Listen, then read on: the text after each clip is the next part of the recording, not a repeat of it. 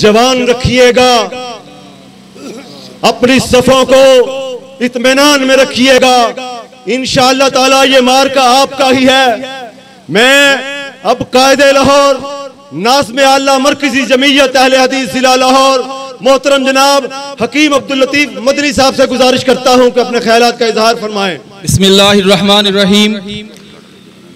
जितने लोग मंदिर को बनाने के हामी हैं वो खा पीटीआई से हैं, नून लीग से हैं पीपल पार्टी से हैं, या किसी भी ग्रोह से ताल्लुक रखते हैं। उनसे मेरे दो सवाल हैं। पूरी दुनिया की किताबों को खंगाल लें।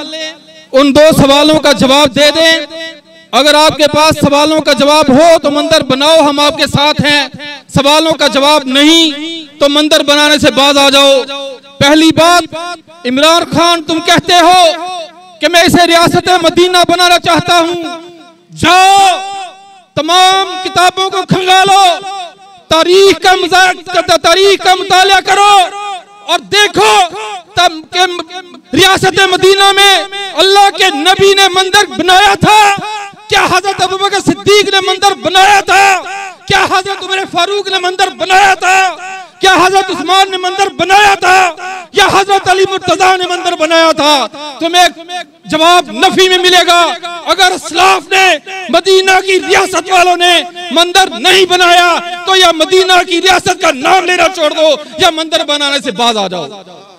दूसरी बात, अगर यहाँ पे मंदिर ही बनाने थे तो फिर बतलाओ, उन्नीस में लाखों बुज़ुर्गों की कुर्बानियाँ देने की क्या ज़रूरत थी? फिर बतलाओ कि अपनी माओ और बहनों की इसमतों की कुर्बानियाँ देने की क्या ज़रूरत थी? लगता है तुम्हारी कोई और माँ बहन उसमें काम नहीं आई।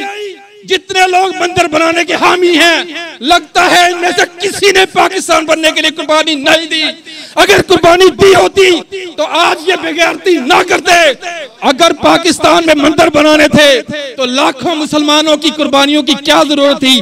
जाओ, अपने बड़ों को बुला लो, किताबें खोलो, तारीख खंगालो, दो सवालों के जवाब दे दो।